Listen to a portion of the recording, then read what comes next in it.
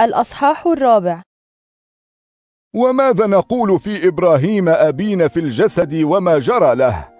فلو أن الله برره لأعماله لحق له أن يفتخر ولكن لا عند الله.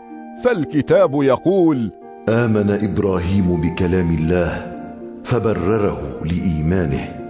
من قام بعمل فأجرته حق لا هبة أما من لا يقوم بعمل بل يؤمن بالله الذي يبرر الخاطئ فالله يبرره لإيمانه.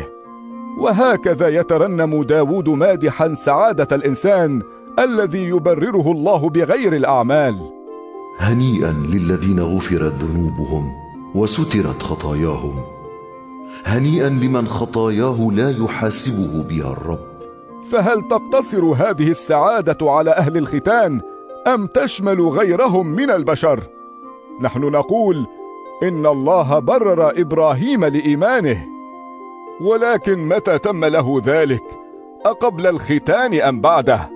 قبل الختان لا بعده ثم نال الختان علامة وبرهانا على أن الله برره لإيمانه قبل ختانه فصار إبراهيم أبا لجميع الذين يبررهم الله لإيمانهم من غير المختونين وأبا للمختونين الذين لا يكتفون بالختان بل يقتدون بأبينا إبراهيم في إيمانه قبل أن ينال الختان. فالوعد الذي وعده الله لإبراهيم ونسله بأن يرث العالم لا يعود إلى الشريعة بل إلى إيمانه الذي برره. فلو اقتصر الميراث على أهل الشريعة لكان الإيمان عبثا والوعد باطلا. لأن الشريعة تسبب غضب الله وحيث لا تكون الشريعة لا تكون معصية.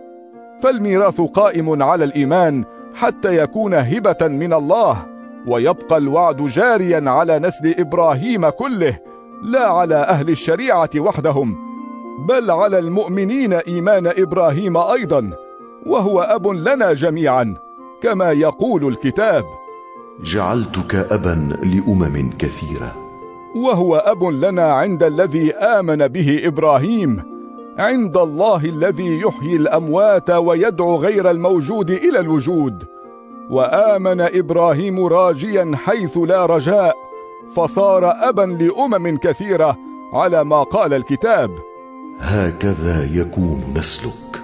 وكان إبراهيم في نحو المئة من العمر فما ضعف إيمانه حين رأى أن بدنه مات. وأن رحم امرأته سار مات أيضا.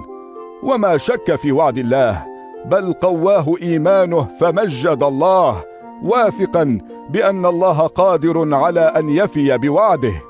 فلهذا الإيمان برره الله. وما قول الكتاب برره الله من أجله وحده بل من أجلنا أيضا. نحن الذين نتبرر بإيماننا بالله الذي أقام ربنا يسوع من بين الأموات وكان أسلمه إلى الموت للتكفير عن زلاتنا وأقامه من أجل تبريرنا.